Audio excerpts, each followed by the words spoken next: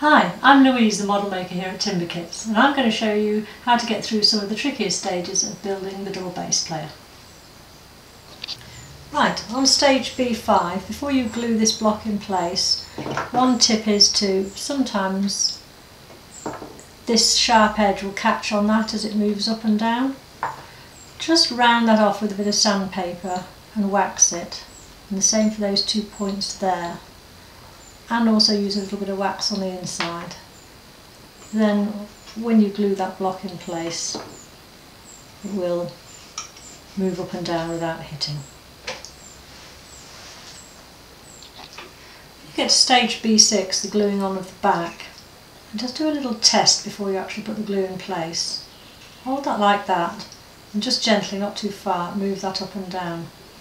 If the inside of that block hits the bottom edge of that and restricts you and stops you doing that, just lift that back off, fold up your sandpaper and just file that about a millimetre lower until when you put it on the movement's not restricted and then you can glue it in place. I've got a tip for helping you get the angle right on stage C2 put a little bit of glue on the edge of that block only. Push it uh, the bamboo through and push it against it. Then use a ruler. You want to line up the edge of that with the edge of the ruler in line with the pelvis there. There you see it's straight. And then just hold the block in that position until the glue starts to go off and leave it to dry. Next is stage C3. It's really important as you see there that the legs are really nice and floppy otherwise you won't get that nice tilting action when you turn the handle.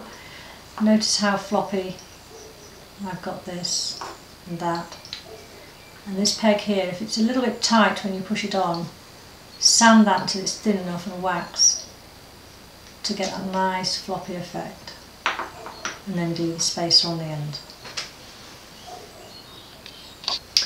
On stage C7 you're putting the arms together. It's very important as you see here in the model that his left arm is very floppy, the articulation, and later on this one is glued rigid so it doesn't matter how stiff that is. Now when you put these joints together you will find they're quite firm, we couldn't get them both different. So um, you've got one stiff one, that's fine, but the other one you need to make it loose and to do that you just need to sand quite firmly until you get that. I won't have done enough with that quick sand, but get it so it's nice and floppy like that and then put the peg in place. Very important that left arm, all the joints are very floppy. In D4 you're going to be putting this cam follower with the peg in it underneath. It's very important that is as loose and easy as that if the hole down through there is a little bit tight, either sand the peg down till it's thinner, or if you have a small round file, file it out. And then wax the peg. It must just drop down freely. We're at E6 now, the positioning of his legs on the base. You put glue all around the bottom of that foot and the peg, locate it, lift that up out of the way and then push that thin peg through that hole and line up his foot so that it is central over that peg. The next stage is to glue this spacer on underneath his right foot. Now tilt it forward and you will see underneath there is a small peg coming out from underneath his foot there. Put glue on the whole of the surface of the spacer as well as inside, uh, contrary to what it says in the instructions. And then locate it and push it up really nice and tight so it really brings the ankle down on the surface. And there, you'll see that holding that tight. Now, while the glue is still drying on this left foot, bring that back up over there and then just gently turn the handle and there you see the leg action on the right leg. That's absolutely fine. Right, you're on the last page now, E10. Drop the body into place, locating that larger peg in the middle hole on the little peg with that. There you go, and then just do a gentle test run, and that is the kind of action you should be getting. Three, two, one.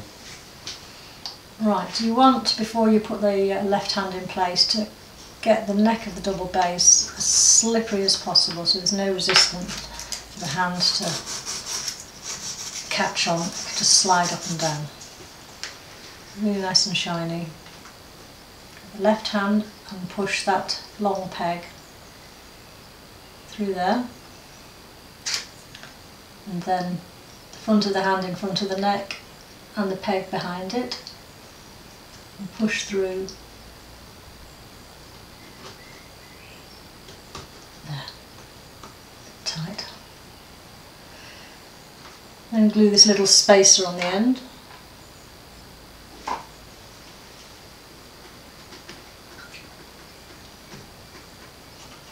And you should get the hand moving up and down nicely.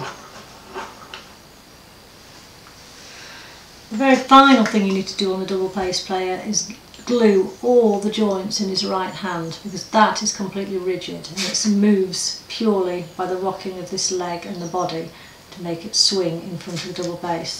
So if you just put blobs of glue there, there, there and there and move it into the position you'd like and turn the handle and you want it to swing across like that so it'll take a bit of playing around to get it to the angle you want. It's best to actually set it in angle when you've got it at that point.